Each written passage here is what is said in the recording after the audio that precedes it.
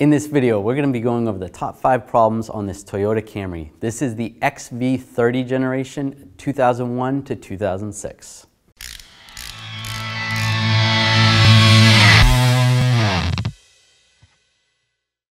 Now there's nothing wrong with this vehicle, there's nothing wrong with buying one or owning one. Every car has their problems, these are the ones that we have found. Number one, the O2 sensors. Now the front O2 sensor is located right here. This is what's going to change your air-fuel ratio. This is the O2 sensor that is in front of the catalytic converter. This one monitors the air-fuel coming right out of the engine. And if you follow the exhaust down the cat, the back O2 sensor or number two O2 sensor, or sometimes called the downstream O2 sensor. Now what this O2 sensor does, it actually monitors the catalytic converter and ensures that it's doing its job properly. So some of the different symptoms you may notice if you have bad O2 sensors. With the back one, you may only notice a check engine light. Um, if you have some exhaust leaks, you want to check those out first before just replacing the O2 sensors because that can cause a false positive problem. Some of the symptoms you may notice with the front O2 sensor the vehicle may not respond normally, your fuel mileage may go down, and you'll have a check engine light with a P2238. You also want to check for exhaust leaks and also intake leaks, which could give you a false positive reading. Number two, the intake manifold plenum. Now you may notice a rattle noise coming from the backside of the engine, and it has something to do with the internals of the intake manifold breaking apart and something with the way the mold was made. And the only way to fix this problem is to replace this intake manifold.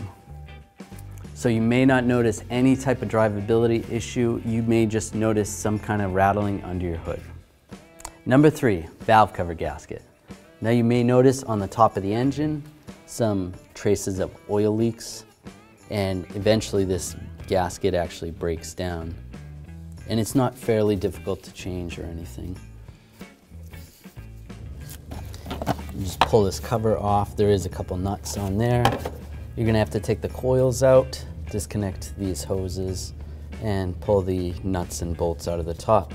Now this gasket is a rubber gasket. It's not just RTV, so you're gonna wanna get a rubber gasket, but fairly easy to do.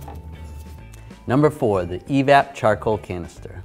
Now it's located right here above this rear subframe in the back. It's somewhat difficult to get to. Um, you can potentially drop the exhaust and try to sneak it out there. That might not be the easiest for you. Easier than that would be to drop the suspension and then you can access all the hoses and stuff that are on the side. Now some of the symptoms you may notice, you probably won't notice any drivability issues, what you could get is a check engine light with a P0440 or a P0442 or 446. Now, whenever you get an EVAP code, you always want to just check your gas cap, make sure it's not something simple. But most of the time, it's that canister, it's got to be replaced. Number five, the accelerator pedal position sensor, or also known as the APP sensor. Now, what we all call it is the gas pedal. And what it is is that sensor right there.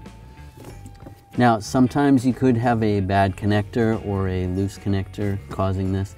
What it'll cause is a engine code with a P2121. And the best way to fix it is to replace the sensor itself. So just double check that connector, make sure that connector looks good and there's no corrosion in that. Replace that sensor, clear the code, and you should be good to go.